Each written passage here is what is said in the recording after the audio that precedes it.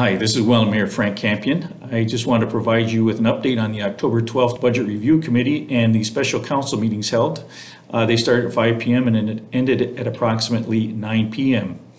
Uh, Budget Review Committee approved the proposed 2022 guidelines uh, that will take us through the budget process. Uh, Staff have proposed a 0% base budget increase for 2022, which is great news. Finance Report 2021-30, Draft Compassionate Grants for Sewer Backup for Residential Properties as a result of significant rainfall event was received with uh, comments provided by Council for consideration. Decision on the implementation will take place at a future date and uh, looking forward to having that report come back with the input from uh, Council.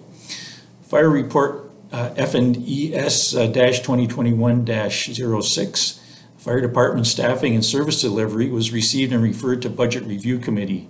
Due to growth throughout our city and a need to ensure safety, uh, Chief Eckhart made a presentation on the need to increase staffing levels. Decisions on implementation will take place during budget review de- deliberations.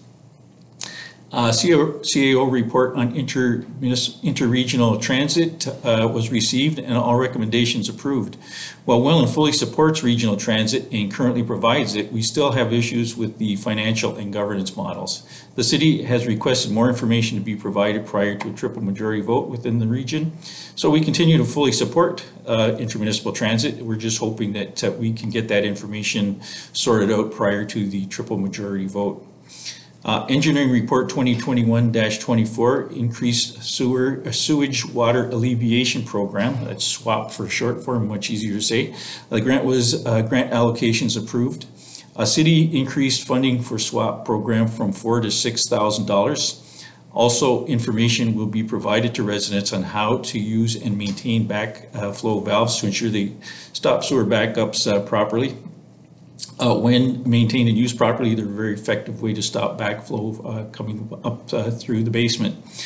Uh, Engineering Report 2021-25, Commercial Street Area Sanitary Bypass Pump Replacement.